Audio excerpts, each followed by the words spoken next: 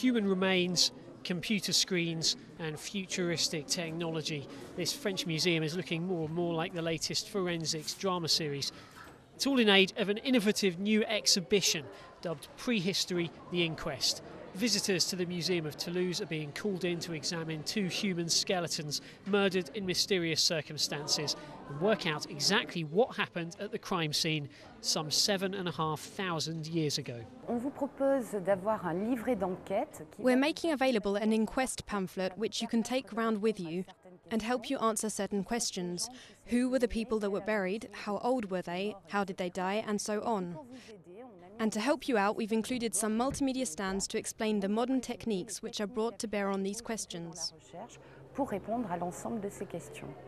Along the way, you'll ID the victims and show why researchers were wrong when they originally identified them as a man and a woman.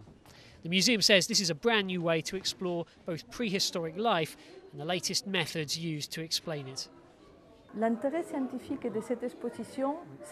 The scientific interest in this exhibition is to show that modern prehistoric researchers no longer work alone. You don't stay in your study. To be able to move ahead in this discipline, you have to collaborate with many different labs, with many different sciences and technologies which can help the field advance.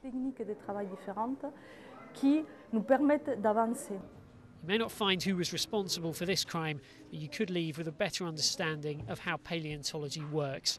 As a museum exhibition, it may not do things by the book, say staff, but it gets results.